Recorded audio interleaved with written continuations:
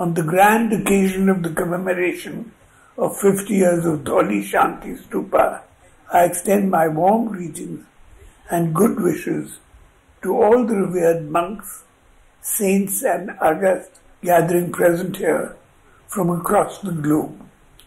On the eve of this momentous occasion, I offer my sincere tributes to most revered Fujii Guruji, founder and preceptor of Nippon Zan Myoho Ji, for his valuable contribution in building this Vishwa Stupa at Dhauli. Further, the steps taken by Kalinga Nippon Buddha Sangha to make it happen is also appreciated. The pages of Orissa history start with Dhauli and the Kalinga War. Although the war ended with massive bloodshed, Dhauli continues to sing the moral victory of the entire humanity.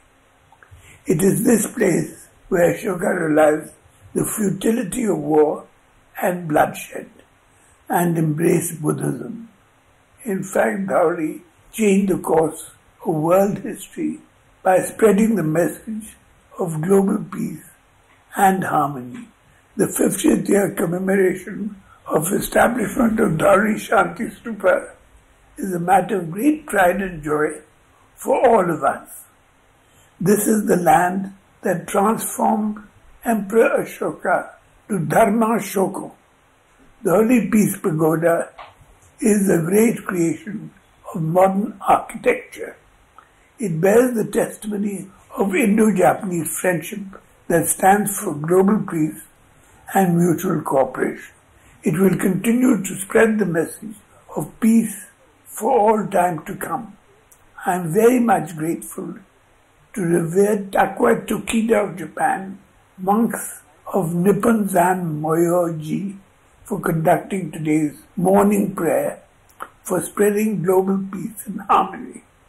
The government of Orissa has taken steps for beautification and holistic development of Dhauli Shanti Stupa to make it at an international tourist destination. Peace has no alternative. It has its significance in all ages. Peace is the only option to achieve the goals of better and beautiful world.